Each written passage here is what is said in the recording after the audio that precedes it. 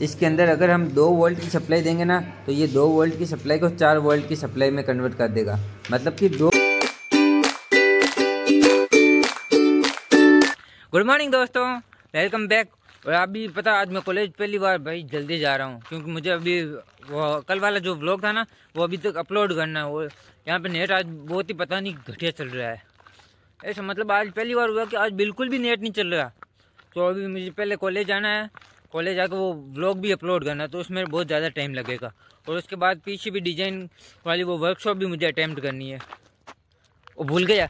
ये पानी वहाँ पे उस पौधे में देना था यार। एक सेकेंड रुको, पहले तो ये पानी देना, उसके बाद जाना।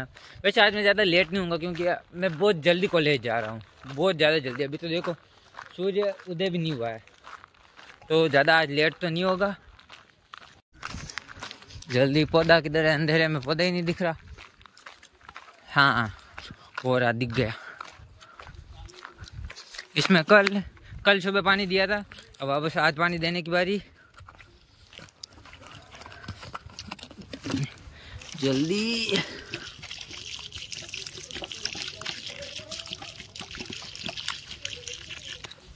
ठीक, चलो ये तो हो गया, अब कॉलेज चलते हैं। ओ, ये। इसके लिए भी मेरे पास कुछ है, एक सेकंड रुकना। इसके लिए ये बिस्किट। ले जा ओए। इंजॉय द मील खा ले खा ले। शर्म मत कर। ठीक, आराम से खाना। मैं तो जा रहा हूँ। ये देखो, बाद की वर्कशॉप में हम ये कर रहे हैं। ये मतलब कि विजय कॉपर प्लेट है ना? कॉपर प्लेट के ऊपर अपना डायग्राम वगैरह बना रहा है। फिर इसके ऊपर हम वेल्डिंग शोल्डिंग वगैरह करेंगे। वेल्डिंग तो वो वर्कशॉप में होती थी मैकेनिकल वर्कशॉप यहाँ पे शोल्डिंग होती है। तो अभी ये अपना डायग्राम बना रहा है और ये जो लाइन है वगैरह ना, ये वायर की तरह काम करेंगी। ये देखो, ये रहा मेरा सर्किट पूरा बना हुआ है। और ये सर्किट हम एम्पलीफायर का बना रहे हैं। और अब वो कॉपर प्लेट है ना, हमको इस कॉपर क्लोराइड नाम के सॉल्यूशन है ना, इसके अंदर डिप करके रखनी है। ताकि उसके ऊपर हमने जो मार्कर से लाइनिंग की है ना, वो ना मिटे और उसके अलावा सारा कॉपर रिमूव हो जाए। ताकि ये प्लेट है ना कंडक्टर ना रहे इंसुलेटर बन जाए बाकी जगहों से। और बस वो जो मार्कर है ना, वो कंडक्टर रहेगा तो हम उसको वायर की तरह यूज़ कर लेंगे। वही तो सब कुछ करने के बाद फिर बारी आती है ड्रिलिंग की।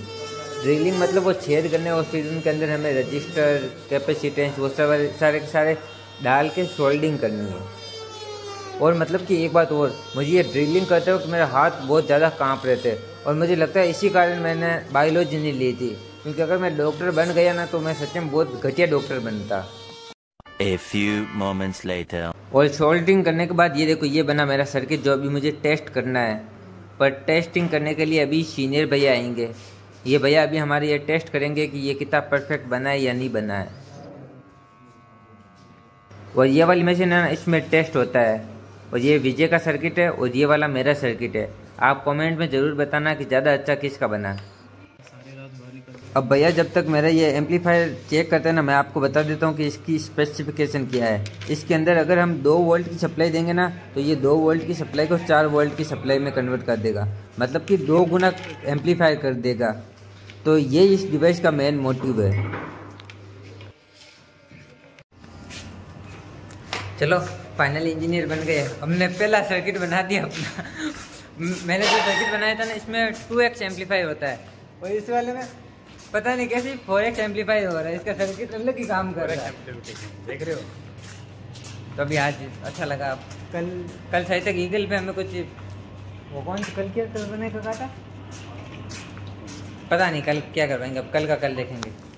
तो अब मुझे जल्दी हॉस्टल जाना है मैं वापस हॉस्टल जाके मिलता हूँ आपसे। देखो मुझे अब हॉस्टल जाना था पर मैं हॉस्टल गया नहीं क्यों?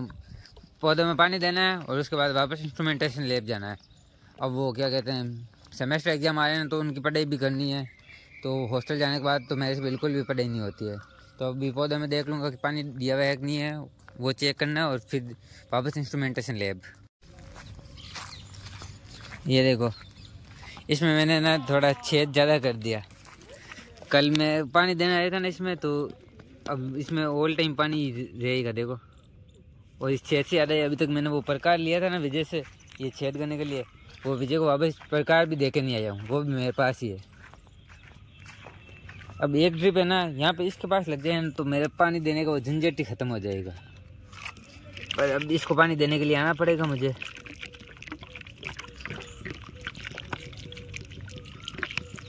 और इसका एक पत्ता भी खेल गया मुझे से लग रहा है, एक नहीं, दो। खैर, छोड़ो। हाँ तो अगली बार मैं जब पौधे लगूँगा ना, तब तो दाइमा से कहूँगा कि हाँ यहाँ पे भी ड्रिप वाला सिस्टम कर दे।